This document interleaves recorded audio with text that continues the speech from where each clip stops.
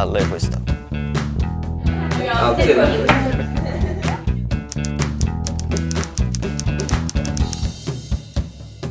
Eh, Här på Grillska så jobbar vi aktivt med att vara uppdaterade kring forskning. Det tycker vi är viktigt.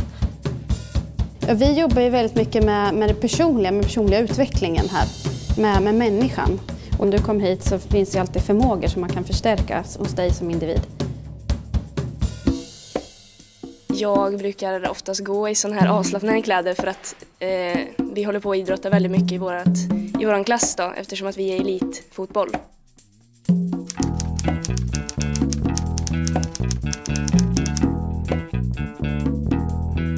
Det som skiljer den här skolan från andra skolor är ju att det finns en väldigt engagerad lärarkår. Vi eh, vill att eleverna ska lyckas.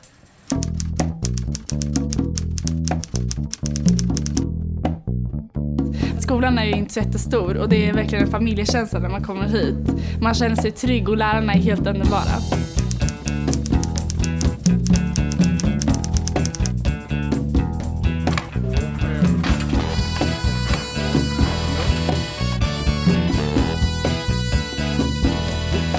Framförallt att vi har ganska långa lektioner som är ungefär två och en halv timme långa och då är man i sitt klassrum. Man kommer till lektionen, man har gott om tid på sig att säga vad man ska göra. Jag tror ju mer, ju mer kontakt du har med eleverna, desto mer känner du dem, desto mer kan du faktiskt individ och skräddarsy ditt bemötande. Har man utgångspunkten i bemötandet att du faktiskt vill, vill fånga upp och stärka en elev, då vet du instinktivt också hur du ska göra. Och eh, här har vi så goda förutsättningar också att göra just det här. Jag vet inte vad jag vill göra när jag blir äldre. Så jag valde en ganska bred linje. Men jag vill inte gå natur eller sam. Kändes ekonomi rätt. Är det roligt? Jag tycker det är jättekul. Fast du inte ens vet vad du ska ha det till. Ja, Ja, det är härligt. ja.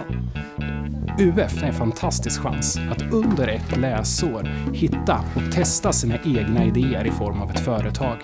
Jag vågar nästan lova att efter att ha drivit UF under ett år så kommer du vara en modigare person. Jag har ju tänkt länge på att bli journalist och då tyckte jag att eh, skolan erbjöd väldigt bra kurser. Jag vill definitivt fortsätta inom fotbollen och blir det inte det så blir jag väl antagligen någon slags lärare. Ska man bli så bra som möjligt så ska man ha bra förutsättningar som för innebandy med rätt golv, eh, att dansarna har sin egen lokal med speglar, att man har tillgång till gym.